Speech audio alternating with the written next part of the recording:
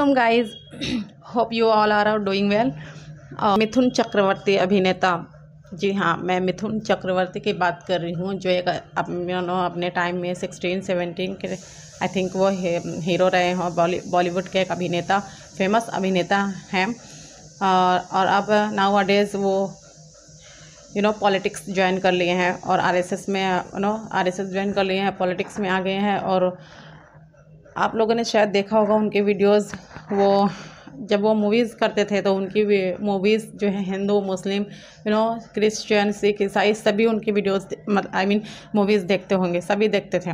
लेकिन आज वो जब यू नो अपने ला, लाइफ के लास्ट स्टेज में आ गए हैं जब यू नो उनका करियर जो है बंद हो गया होगा या वट एवर जो भी तो अब वो पॉलिटिक्स ज्वाइन करके यू नो नफ़रत का बीज बो रहे हैं यू नो तो कोलकाता में एक इवेंट था यू नो एक प्रोग्राम हुआ हुआ था, उसमें मिथुन चक्रवर्ती जी ने कुछ यू नो भड़काऊ भाषण दिए थे।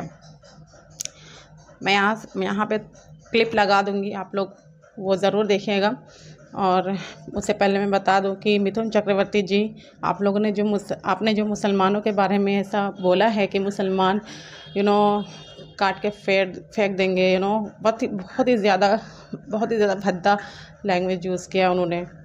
सो so, मिथुन चक्रवर्ती जी आप एक मतलब एक अभिनेता आप एक एक्टर हैं एक्टर होकर ऐसा यू नो हिंदू मुस्लिम करेंगे तो फिर अफसोस की बात है बहुत ही अफसोस की बात है. पहली बात तो मुसलमानों का कोई कुछ बिगाड़ नहीं सकता. यू नो कितने आए कितने गए यू नो मुसलमान को इस्लाम को बदनाम करने की कोशिश की। पर इस्लाम क्यों बद, मतलब इस्लाम मुसलमान यू नो इसी यही तो एक सच्चा मज़हब है। इस्लाम ही एक सच्चा मज़हब है। अगर इस्लाम नहीं रहेगा तो ये दुनिया है ही नहीं ना। इस्लाम ही एक सच्चा मज़हब है और ये हक़ है और ये ये जब तक जब तक दुनिया है इस्लाम मुसलमान रहेगा। और मुसलमानों को चाहे वो इंडिया हो पाकिस्तान हो बांग्लादेश हो या ऑल ओवर वर्ल्ड में कोई भी कंट्रीज़ हो हर जगह आप लोग को मुस्लिम मिलेंगे, हर जगह एवरीवेयर आप लोग को मुस्लिम, मुसलमान मिल जाएँगे, पर अगर नहीं मिलेंगे तो हिंदू यू नो इंडिया में, पाकिस्तान में, बांग्लादेश में यू नो हिंदू हैं। और ऑल ओवर कंट्री में जाइए देखिए तो आप लोगों को हिंदू की संख्या ना के बराबर मिलेगी। तो पहली बात तो ये कि मुसलमान आप लोग कितनी भी कोशिश कर लीजिए, मुसलमान जो है कभी ख़त्म नहीं होने वाली चीज़ है। इस्लाम को बहुत लोगों ने, बहुत आए गए, बहुत लोगों ने दबाने की कोशिश की, पर जितना लोगों ने दबाया, उतना ही इस्लाम उभर के सामने आया। और जिन लोग जो इस्लाम के दुश्मन थे, वो इस्लाम को स्टडी किया, कुरान, हदीस को स्टडी किए तो वो मुसलमान हो गए वो कलमा पढ़ लिए। और आपको भी एक दिन समझ में आएगा कि आपने कितना मतलब कितना वाहियात, कितना भड़काऊ भाषण दिया है। आप लोग यहाँ पे क्लिप लगाती हूँ, देखिए।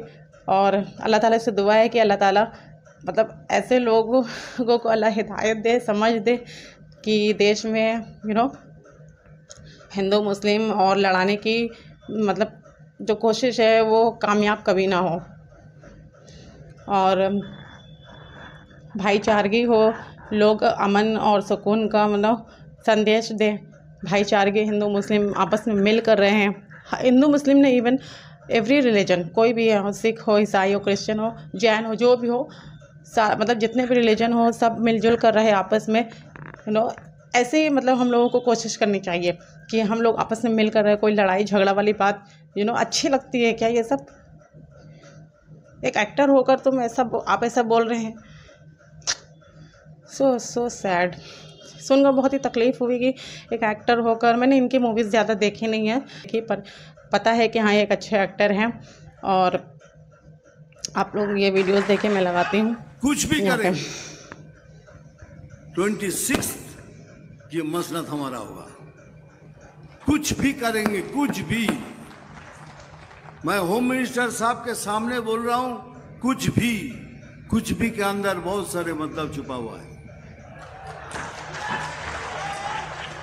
देखिए हमारे यहाँ एक लीडर so होता है कि हम सत्तर परसेंट मुस्लिम है, तीस परसेंट हिंदू। हम इनको काट के भागीरथी में बहा देंगे। हमने सोचा, चीफ मिनिस्टर कुछ तो बोलेगा कैसी बात मत करो। किसी ने कुछ नहीं कहा। लेकिन हम चीफ मिनिस्टर नहीं है। लेकिन हम तो बोलेंगे, तुम काट के भागीरथी में फेंक दोगे लेकिन एक दिन आएगा जब हम तुमको काट के में नहीं कि तो भागीरथी हमारी माँ है पुण्य माँ है, तुमको तुम्हारी ज़मीन के अंदर तुमको फेंकेंगे उधर।